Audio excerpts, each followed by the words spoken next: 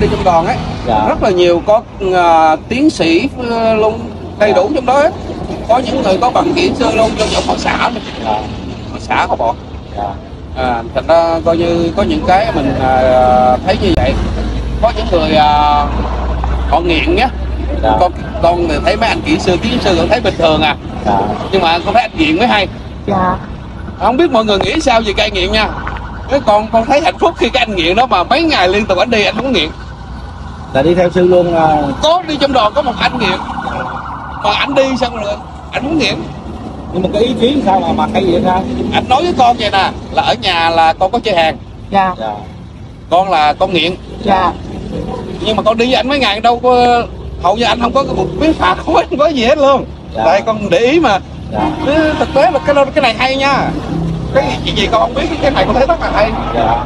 Chẳng như các vị kêu là cơ thể mà mọi người à, đi mà không bị hôi thối rồi á. Dạ. tại tụi con ăn chay ăn ít quá mà mồ hôi nó tốt ở ngoài không hôi là rất là bình thường. Dạ. vì ăn chay uống nước lọc không đâu có cái chất gì đâu tanh thôi dạ. Nó ít hôi hơn mọi người thôi chứ không phải là nó thơm. Dạ. ít hôi hơn. Dạ. Còn coi như cái anh này á, bốn năm ngày bốn ngày mà không thấy ông cái điều này các vị thử coi như làm được không? Dạ tại vì anh kêu ở nhà anh chơi hè Dạ. mà anh vô trong uống. cái điều này con thấy rất là lạ. Cái này là cái năng lượng lan tỏa rất là tốt của đoàn dạ. Con cũng là sư minh tuệ. dạ.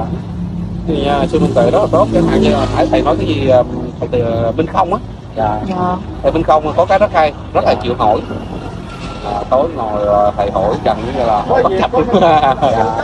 Con thấy thầy nhỏ tuổi thì thầy mới thầy hỏi nhiều tốt Dạ. coi như con à, cũng có nhắn với thầy Minh Công nếu mà thầy à, cảm nhận được à, năng lượng à, từ trường của sư phụ á thì thầy bắt đầu từ đây bây giờ bữa nay thầy đi đi.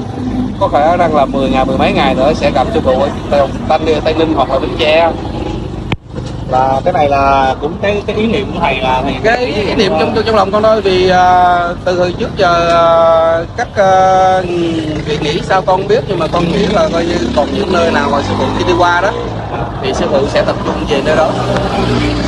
À, nói chung là sẽ không ồn ào đâu chẳng qua gặp rồi đảnh lễ để giống như mình có chủ xứ để về. Giống như thời đức phật vậy các ngài à, đi cũng đi khắp nơi rồi cũng lâu lâu lại về với đức phật cứ nghĩ vậy thôi. Còn ai làm gì ai thánh đoán gì đó thì con không biết. Con đi trong đoàn con cảm thấy à, con học à, bát chánh đạo. Rồi con học tứ diệu đế ở nhà. Nhiều năm về trước thì con thấy nó hợp với lẽ thường và bây giờ thầy Minh Tuệ đang đi trên con đường đó. Dạ. À, thức tỉnh. Và luôn luôn kiểm soát thật tốt đó vậy không bây giờ mà các thầy về nhà hết á các thầy lãng phí nên coi như con nhắn thầy Minh Công á. Nếu mà muốn uh, gặp thầy sư phụ uh, Minh Tuệ thì bây giờ thầy Minh Công bắt đầu bắt lên thực hành. Thì mình về nhà không giữ giới được đâu. Không nói thật.